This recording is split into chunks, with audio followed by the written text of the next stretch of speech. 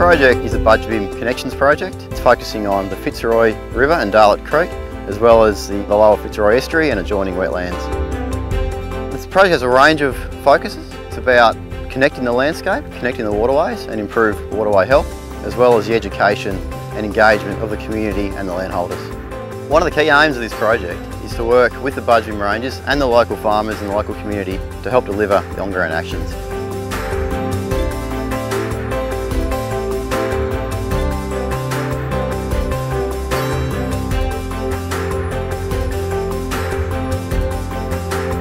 This is an example of one of the weeds we're targeting, the willow species of the weed of national significance. Unfortunately, they're very invasive uh, and they can really smother waterways and smother habitat. And one of the other impacts they can have too is on, on public infrastructure. So here on a bridge, you can kind of see this plant here, it is basically taking over and this can really undermine roads and bridges and cause a lot of, I guess, recreational and social damage as well. So it's not just environment that we're sort of trying to protect here, it's social, recreational, cultural and environmental values.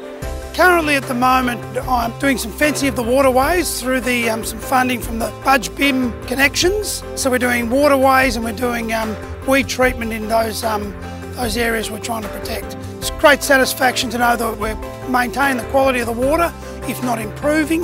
We're getting better stock movement around the farm by fencing off the difficult areas where stock tend to run into if they want to get away from you. So so management of stock's really important and we're getting good shelter belts um, along fenceways where you can still move stock easily. Satisfaction that what we're doing with farming, you know, in the right balance.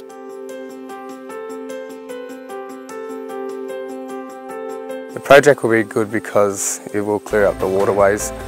Um, by doing that, it's letting the rivers flow. And the rivers down here is like the blood of you know, this country is very important. So by clearing the rivers, we're looking after the earth as it's looked after us for thousands of years.